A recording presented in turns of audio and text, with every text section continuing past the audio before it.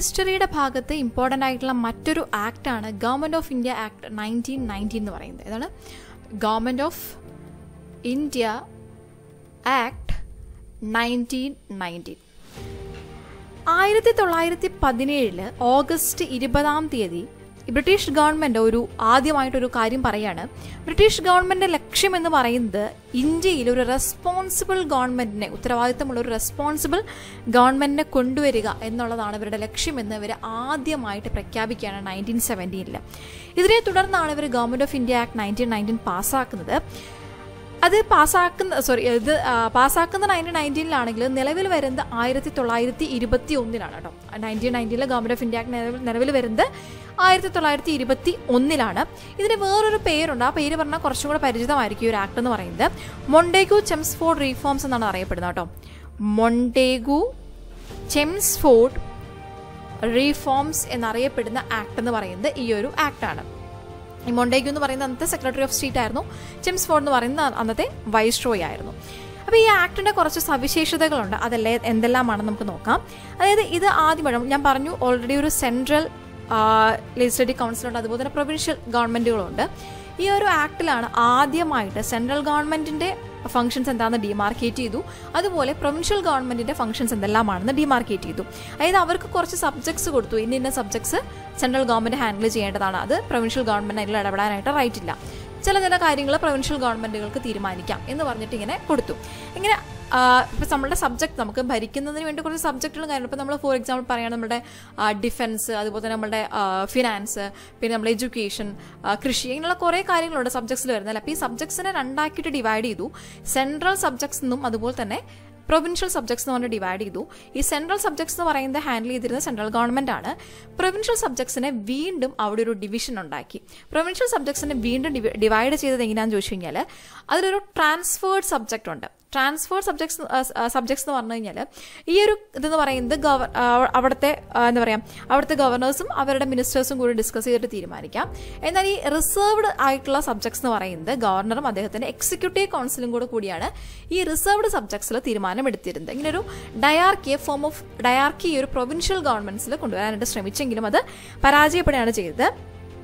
അപ്പം ഈ ഒരു ആക്ടിന്റെ മറ്റൊരു പ്രത്യേകത എന്ന് പറയുന്നത് നമ്മൾ രണ്ട് ഹൗസ് കേട്ടിട്ടുണ്ട് ഇപ്പോൾ നമ്മുടെ ഇന്ത്യയിൽ എന്താ സെൻട്രൽ ഗവൺമെന്റിൽ രാജ്യസഭയും ലോകസഭയും ഉണ്ടല്ലോ. അപ്പോൾ അതുപോലെ രണ്ട് ഹൗസുകൾ അങ്ങനെ ബൈ ക്യാമറലിസം ആദ്യമായിട്ട് ബൈ ക്യാമറലിസം എന്നാണ് അതിന് പറയുന്നത് അല്ലേ? രണ്ട് ഹൗസുകളുള്ള രീതി. ബൈ ക്യാമറലിസം ആദ്യമായിട്ട് കൊണ്ടുവന്നത് ഈ ഒരു ആക്ടിവേറ്റ് ആണ്. അതുപോലെ തന്നെ ഡയറക്റ്റ് എലക്ഷൻസ് എന്ന് പറയുന്ന ഒരു കൺസെപ്റ്റ് നമ്മുടെ എലക്ട് ചെയ്യുന്ന ഒരു കൺസെപ്റ്റ് ഈ എലക്ഷൻ ചെയ്യുന്ന സമയത്ത് അവിടുത്തെ ഫ്രാഞ്ചൈസ് എന്ന് പറയുന്നത് കുറച്ചുകൂടി എന്ത് അതായത് വോട്ട് ചെയ്യാൻ അധികാരമുള്ളവർ വോട്ടവകാശം എന്ന് പറയുന്നത് കുറച്ചും കൂടി ഒന്ന് എക്സ്റ്റെൻഡ് ചെയ്തു. അതായത് കുറച്ച് ആളുകൾക്ക് വോട്ട് ചെയ്യാനായിട്ടുള്ള ലിമിറ്റഡ് നമ്പർ ഓഫ് പീപ്പിളിന് വോട്ട് ചെയ്യാനായിട്ടുള്ള റൈറ്റ് കൊടുത്തു.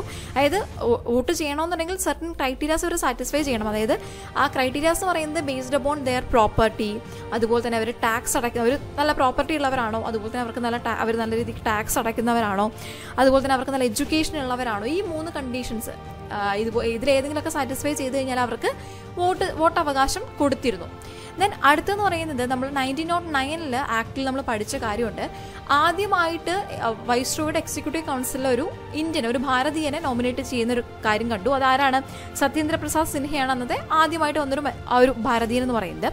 ഈ ഒരു ആക്ടിൽ ആറ് അംഗമാണ് ആറ് അംഗങ്ങളാണ് വൈസ്രോയുടെ എക്സിക്യൂട്ടീവ് കൗൺസിൽസിൽ മൊത്തമുള്ളത്. എക്സിക്യൂട്ടീവ് കൗൺസിലിൽ മൊത്തമുള്ളതെന്ന് പറയുന്നത് ആറ് അംഗങ്ങളാണ്. ഇതിന്റെ ഉള്ള മൂന്ന് അംഗങ്ങൾ ഇന്ത്യൻസ് ആയിരിക്കണം ഭാരതീയരായിരിക്കണം എന്ന് പറയുന്ന ഒരു നിയമമാണ്. അപ്പം ത്രീ ഔട്ട് ഓഫ് സിക്സ് ഇപ്പം എന്താണ്?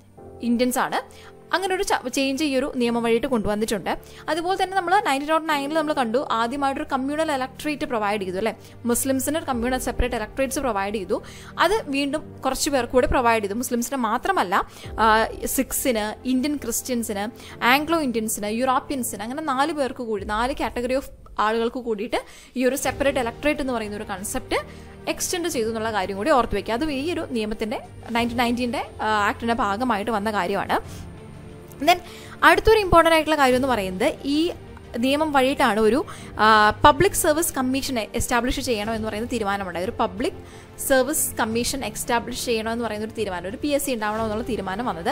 അങ്ങനെ ഈ നിയമത്തിന് ഇത് പാസ്സായതിനെ തുടർന്ന് നയന്റീൻ ട്വന്റി സിക്സിൽ central public service commission form ചെയ്തു കേട്ടോ central public service commission form ചെയ്തു നയന്റീൻ ട്വന്റി സിക്സിൽ ദെൻ അടുത്തതെന്ന് പറയുന്നത് അടുത്ത ഈ ഒരു നിയമത്തിന്റെ പ്രത്യേകത എന്ന് പറയുന്നത് ബഡ്ജറ്റ് സെൻട്രൽ ബഡ്ജറ്റിൽ നിന്ന് പ്രൊവിൻഷ്യൽ ബഡ്ജറ്റിനെ സെപ്പറേറ്റ് ചെയ്തു. കാരണം പണ്ടെന്ന് പറയുന്നവർക്ക് ഈ നിയമം പാസ്സാവുന്നതിന് മുമ്പ് സെൻട്രൽ ബഡ്ജറ്റിന്റെ കൂടെയാണ് ബാക്കിയെല്ലാം അവതരിപ്പിച്ചിരുന്നത്. എന്നാൽ ഈ ഒരു പ്രാവശ്യം പ്രൊവിൻഷ്യൽ ബഡ്ജറ്റിനെ സെൻട്രൽ ബഡ്ജറ്റിൽ നിന്ന് സെപ്പറേറ്റ് ചെയ്യാണ് ചെയ്തത്.